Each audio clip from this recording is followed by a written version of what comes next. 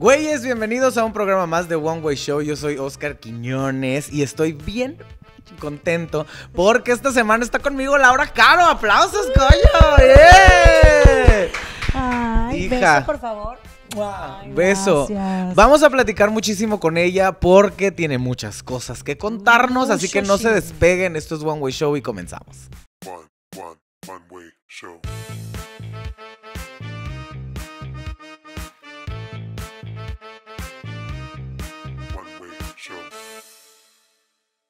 Como lo dije en el intro, está conmigo Laura Caro. Ahora sí, y mira, dame la mano y todo, échale. Oye, así como saludan en los programas gringos, casi casi que les da miedo así de, "Ah, jaja". Ay, Gracias. ¿Cómo estás? Ay, no, feliz, muy contenta de estar aquí en Tijuana, mi amor, como siempre le pongo. Hashtag Tijuana, mi amor. Y sobre todo, feliz de estar aquí contigo y, y, pues con muchas cosas que platicarte. Ay, espero que, bueno, nos, es que nos podríamos aventar nosotros el chal y la chorcha y el café y tres más, ¿verdad? Los refills.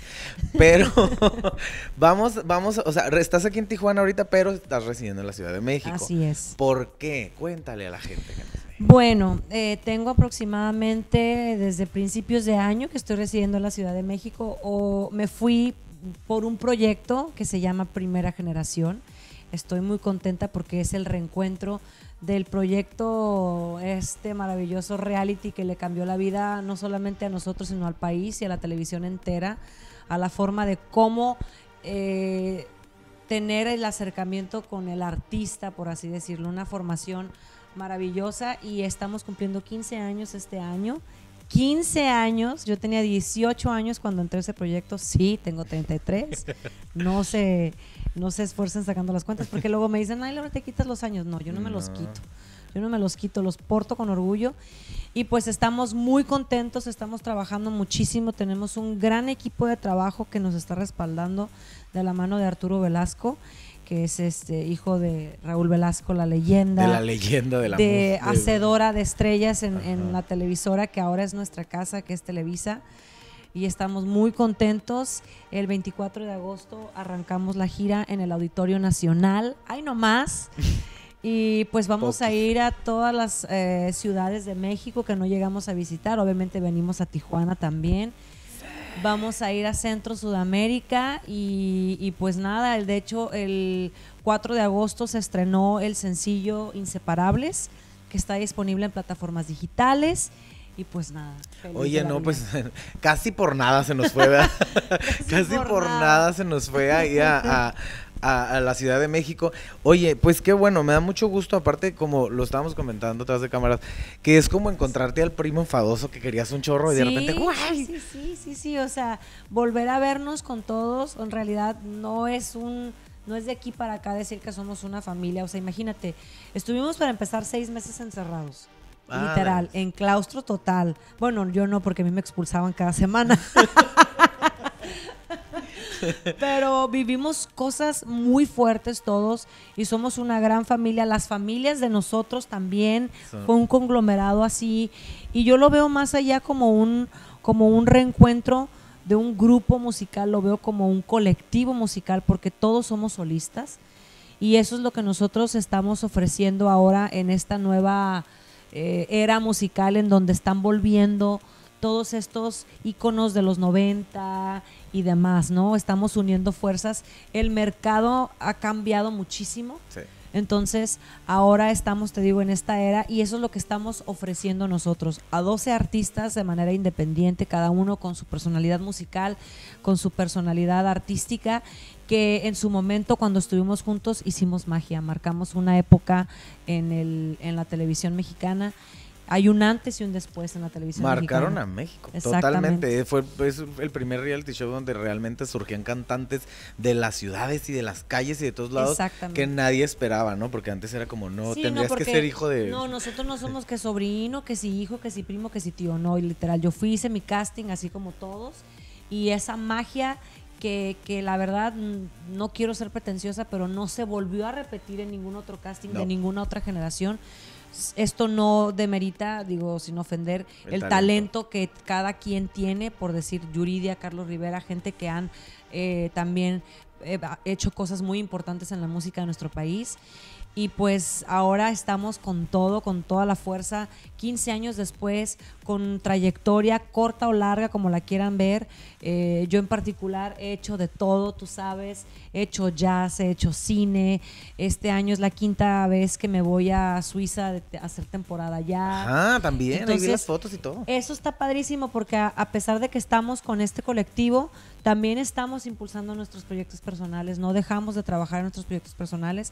De hecho, por eso estuve aquí en la ciudad, porque vine a hacer ah, cosas personales y, y- y demás. Estoy grabando un EP en inglés, Ándale, el crossover. trabajando con, Ay, con, no.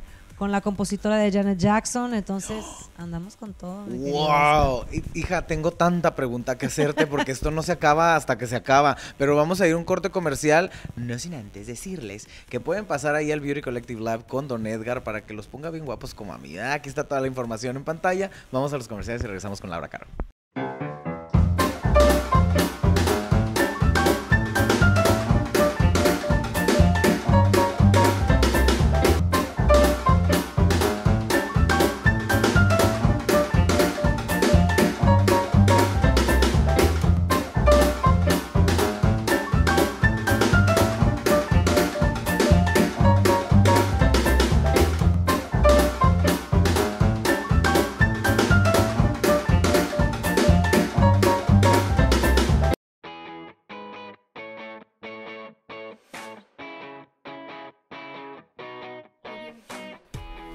Amarillo no a todos nos va bien, y en este caso, yo creo que a nadie. Lo mismo pasa con tus dientes, una vez que los descuidas, se deterioran y los pierdes por completo. Soy el odontólogo Oscar Bernal, te invito a que visites mi consultorio para ver qué pasa en tu boca, porque es mejor estar así que así.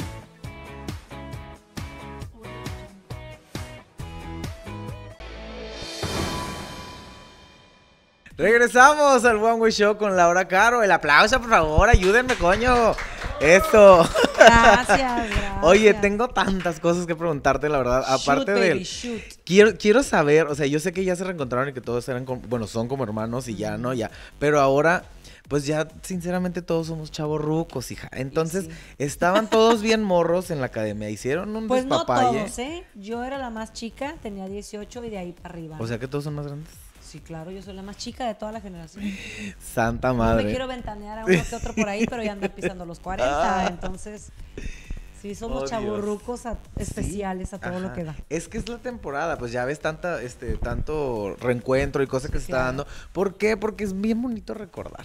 Yo acabo de ir a un concierto por ahí, déjame decirte que hasta me desgarré la garganta de tanta cosa que te viene a la mente. Entonces, me gustaría saber la impresión o, o- o- o el, o el comportamiento de llegar y encontrarte con todas estas personas con las que viviste. ¿Quién cambió? ¿Quién sí se hizo así como más ruco de lo que era? o, o- o, a ver, cuéntanos alguien, una Te anécdota digo chida. una cosa, de verdad, no es por echarnos porras de más, pero todos estamos, hubo una evolución muy marcada en cada uno de nosotros, ¿no? Y sobre todo a nivel personal. No me voy a meter en cuestiones artísticas, yo creo que al final de cuentas el escenario es el que habla y es donde uno se va a dar cuenta quién creció o quién no creció o cómo crecimos. El caso es que hubo un crecimiento muy grande y algo que yo creo que es más importante que cualquier cosa es, es el temple. El temple y, y la seguridad y el amor que antes le teníamos a esto, ahora es más grande. O sea, literal estamos eh, como toritos, así esperando que abran las puertas de la- del auditorio para salir y comernos ese escenario, porque por ejemplo yo en particular, en su momento, por todo el rollo de las historias que al final de cuentas, pues lo entendí ya tiempo después, porque en su momento fue algo que me lastimó bastante, pero entendí que era un programa de televisión. El que más allá de un programa de talentos, era un programa de televisión y había que generar ciertas historias, había unos guiones, había ciertas cosas, ¿no? Que por ejemplo en su momento a nosotros nos hicieron pruebas psicológicas y sabían qué decir, qué hacer para detonar ciertos comportamientos en nosotros. ¿no? O Madres. sea, realmente éramos como ratitas de laboratorio y todo eso reaccionó y fue lo que funcionó porque éramos reales, no era de, ay, yo sé que si lloro y vivo a la cámara 2 me van a poner Ajá. el programa del resumen. No. Nosotros no Como que ya los demás, los demás ya estaban más trineados, ¿no? Exactamente. Claro. Entonces, esa pasión y esa hambre es un común denominador en todos ahorita y de verdad sí es como ver al primo lejano o al primo hermano que vive allá en, no sé, en Nueva York y te lo vienes y te lo topas en Navidad y es sentarte y decir, ¿qué has hecho estos 15 años? Platícame. ¿Y cómo estás? Y es un regocijo de verdad entre todos estar platicando, interactuando. Hace poco este, ya empezamos los, los ensayos ya formalmente eh, grupales y pues bueno. Pues sí, te, re- te nos regresas. hicieron ejercicios de integración como los que los que teníamos en el proyecto este en el reality y todos así 15 años después llorando, y ay, agarrados todos de la mano y esa energía que, que- que sigue creciendo y que está latente, ¿no? Que al final de cuentas a lo mejor eh, que no voy a demeritarlo, al contrario, traemos una super producción con unas pantallas que te mueres, pero nosotros más allá de toda una producción, nosotros estuvimos en una gira de más de 72 fechas con solamente pistas y papeletas y nuestro talento. Entonces ahora es otro rollo, traemos músicos en vivo, traemos pantallas, traemos escenografía y traemos una inversión de tiempo y de energía y de trabajo de gente que realmente sabe cómo hacer espectáculos en el Claro, país, ¿no? la pirotecnia y todo el no, despapalle, sí. ¿no? Oye, a ver, ahora sí viene la pregunta más fuerte, Zona. De todo lo que las críticas y ya que el, el llanto y andabas tú ahí desal- pues muy mal en aquel entonces, ahora en ese entonces no estaban, no existían las redes sociales. Exactamente. Ahora viene la red social y vienen todas las notas que te sacan en revistas que ahora, hoy mírala, ya se hizo bulímica o no sé, bla, bla, bla. Ahora, ¿cómo toma la Laura Caro de 33 años las críticas de la gente en general y de las revistas estas que se dicen ser de renombre? Pero, ¿cómo, cómo tomas estas, estas críticas, críticas ahora? ¿Ya sigues, o te, sí te duele todavía o ya las tomas así como, "Eh, que les vaya bien? Pues como dice mi canción, que te vaya bien, que te... No, de verdad, en serio, es, es un trabajo interno muy fuerte, porque eh, de verdad estar expuesto a tanta crítica en su momento fue muy difícil, pero me, me montó unas, unos ovarios Eso, chingada. que aún y a pesar de eso, ahorita de repente se avientan uno que otro comentario que dices, Bitch, please. Lo voy a decir yo. Sí, así como come on, o sea, a ver, ubication. Ubication. Pero es más como, ya lo tomo como, como, como risa, pues. Porque al final de cuentas, creo que tú sabes, en este medio, si no hablan, Pues no, eres, no, no se acuerdan. pasas desapercibido, ¿no? Claro. Entonces, a mí sin querer me sigue el escándalo, aunque no lo generes y me, me, me, me meto el dedo a la nariz, ya, es un escándalo, ¿no? Híjole, se sacó un moco. Se sacó un Ay. moco, ay, cochina, o no sé. Pero creo que lo más importante de todo es estar seguro de quién eres, es estar anclado con cosas reales como la familia, como tus amistades, como un- un- un- una introspectiva espiritual, no a nivel religioso, porque yo no soy religiosa, pero creo en las energías, creo en el universo, creo que todo conspira siempre. Cuando tú mandas, lo que tú mandas siempre regresa. Claro, está bien interesante, pero vamos a hacerla rapidísimo la dinámica porque siempre tiene que haber un jueguito aquí burlescón. Mientras voy a tomar mi Échele, échele tantito. calor. Esto se llama dónde y cuándo. Así te la voy a poner. Nada más te voy a dar tres situaciones rapidísimo. Tú tienes que decir dónde puede ser ciudad y hace un año, pero no más detalles para que no te vayas ahí a pues a evidenciar ¿verdad? de alguna otra forma. ¿No es Oh my goodness. Ay, No yo, cierto, yo no leí ahí en la claqueta dinámica y dije, ay, es algo para la gente. O sea, Es para un ti. am- ambushed. Ok, a ver. La primera es dónde y cuándo cantaste tu mejor canción. Mi mejor canción, híjole. Yo creo que fue. ¿Puedo decir marcas? Sí, adelante. Fue en Villa Saverios. Hace. Ah, esa no, no, es cierto, no es cierto. Ups. No, está bien, está Fue en. Villa Saverios. Hace. No sé, unos cuatro años. Hace cuatro años. Se puede, bueno, ya porque yo soy bien metiche, ¿se puede saber cuál fue? Eh, de hecho, fue todo ese recital. Ya, yo ya sé cuál es. Fue todo ese recital. Fue, fue I Will Always Love You. Fue, fue este, I'd Rather Go Blind de Era James. Fue todo el recital de Edith Piaf. Fue una noche muy especial para mí a nivel personal. Eh, sí. Hasta Eso. ahí le voy a dejar. ¿Dónde y cuándo, número dos, dónde y cuándo tomaste tu mejor decisión? ¿Dónde y cuándo tomé mi mejor decisión? En la Ciudad de México hace cuatro meses. Eso. Y ya para irnos contentos es dónde y cuándo tuviste tu mayor carcajada. Aquí. Aquí en el. Híjole, mi mejor carcajada.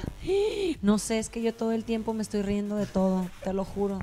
Eh, la mejor carcajada, la mejor carcajada. No, hombre, hace, hace, hace unos meses traí una fiesta. A gusto. No me acu no, yo creo que sí fue en la Ciudad de México hace como dos meses. Así estaba la fiesta, ¿no se una acuerda? carcajada como de media hora así de dolor de estómago. Sí, algo así. Ahí está, esta fue la dinámica dónde y cuándo con Laura Caro. Vamos a unos cortes comerciales rapidísimas y regresamos porque tenemos un poquito más de qué platicar.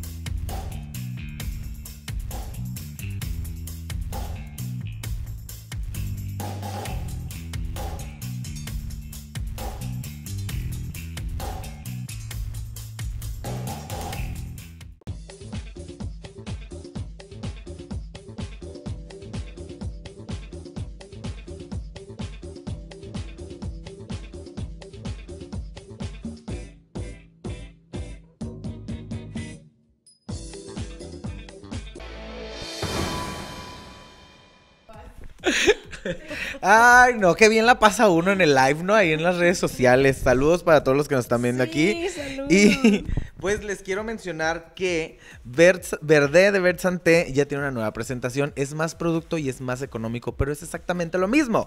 Entonces lo pueden buscar en redes sociales como Vert Santé con acento en la E. ¿Y qué es eso? Pues haz de cuenta que es un champú que te hace que te crezca el pelo, te lo yo. fortalece, te lo fortalece. Inclusive si estás en tratamiento de quimioterapia, te ayuda para que tu, tu pelo se fortalezca. Son 10 hierbas naturales y la verdad huele delicioso y nada más es bañarse con el diario, así que no Ay, hay yo pierde. quiero. mira, Mira, ahí tiene está. clorofila y vitaminas. Qué nice. A ver, déjame leerlo. es que el, Ahí es la, la- la verdad, ahí está. el olor. Ay, Dios mío. Ahí nada más, aléjate. Huele a pura hierba, a pura hierba de la buena. No, es cierto. Ay, huele rico. huele- Bueno, mejor no voy a decir a que. No voy a salir el tiro por la culata. Mejor así lo dejamos. Recuerden, recuerden que Verde está en Versate y tiene nueva presentación, así que ya saben cómo buscarlo. Vamos a seguir platicando contigo. Oye, es que nos estamos dando unos quemones bien bonitos, ¿ah? En vivo. Pero bueno, este, ya viene todo este movimiento, ya sabemos que estás con la primera generación. Para Laura Caro, ¿qué viene? Porque ya te veo más así, pues, más, más maja, pues. ¿Qué, qué, qué traes tú Tío, entre manos? pero es que tenía que pasar el tiempo. No, mira, de verdad, eh, estoy fluyendo, la verdad, con las cosas que vayan sucediendo. Estoy muy contenta con todo lo que, lo que, lo que está pasando ahorita con primera generación. Y a la par también, como te decía, eh, no voy a detener mis proyectos personales porque en su momento cuando empezamos con todo esto a cuestión mediática, la gente empezó a decir, oye, pero tus proyectos personales, que no sé qué. Entonces, no, no se preocupen. Yo de hecho ya grabé el primer, el primer tema de mi EP en inglés. como te decía, estoy eh, trabajando con eh, Freckles the Writer, que es compositora de Janet Jackson, compositora de New Kids on the Block, que regresó con un sencillo nuevo, está produciendo canciones para Celine Dion, entonces eh, es una nueva etapa, de hecho el tema se llama Brand New Me, que en, es- que en- en español significa este, nueva, la nueva yo. Sí, la nueva yo. Entonces, este, estoy trabajando con, con- con un equipo de trabajo también allá en Los Ángeles que de verdad me, me cuida muchísimo. Y está padrísimo. Aparte también algo que, que siempre había querido hacer. Yo creo que nosotros, sin ser pretenciosos como, como figuras o como personas con, con opinión pública, creo que es una responsabilidad cívica el poder dejar un granito de arena con algo. Por ejemplo, hace poco fui a visitar las instalaciones de, no sé si lo puedo decir, pero Sí, del el CRIT. Y que Ahí este estuve yo año- también, hija. Que este Ah, no. año es el Teletón aquí en, en Baja California, Que nunca se había hecho que aquí. nunca se había hecho, o sea, que sea una transmisión binacional, o sea, de verdad, no hay fronteras, no hay muros y creo que el poner un granito de arena en cualquier situación y circunstancia, fundación, organización y demás, creo que es algo que, que como digo, lo que mandas regresa. Y no tanto por lo que vaya a regresar, sino porque tenemos que hacer algo por, por nuestra sociedad, ¿no? Entonces, también este, acabo de integrarme en- a una organización que defiende eh, lo- la- a las sobrevivientes de tratas de blancas. Entonces es un tema increíblemente fuerte. Eh, Virginia, que le mando un beso, es la fundadora de esta organización, es sobreviviente, de verdad te sientas a escuchar su historia y es desgarradora. Entonces siento que también como mujer nos tenemos que unir sin ser feminista, ¿no? Porque de repente hay eh, todo este submundo de cosas que suceden en nuestra sociedad que muchas veces ni nos damos cuenta. Vivimos una época ligeramente, más que ligeramente deshumanizada, donde No. estamos de- desconectados como sociedad, como, como raza humana, más allá de, de fronteras, muros absurdos. O sea, entonces el poder estar formando parte y, y poner un granito de arena hablando del tema o, o- o promoviendo este tipo de cuestiones, de verdad a mí me llena como ser humano y creo que todos deberíamos de formar parte de algo así. ¿no? Hija, aviéntales a todos tus redes sociales, por favor, para que te... Claro que sí. échaselas así. Así, tras. Estoy como Laura Caro Music en Facebook, en Twitter y en Snapchat. Y en Instagram estoy como arroba lau-cher. Lau como de Laura, guion bajo, cher, como Cher. Como cher. Así como Cher la cantante. Que, que, by the way, cher es caro en francés. ¿Qué tal? Por eso me ¡Qué puse chido! Muy bien. Y amo a Cher también. pero bueno. ¿Quién no? Digo, no, no manches. Bueno, bueno, nos vamos a tener que ir. De verdad, no quiero. Necesito yo dos días más para platicar con Laura Caro. Este, pero pues así es el tiempo de la televisión, ¿verdad? Pero no te me vas a ir, obviamente, sin tu present.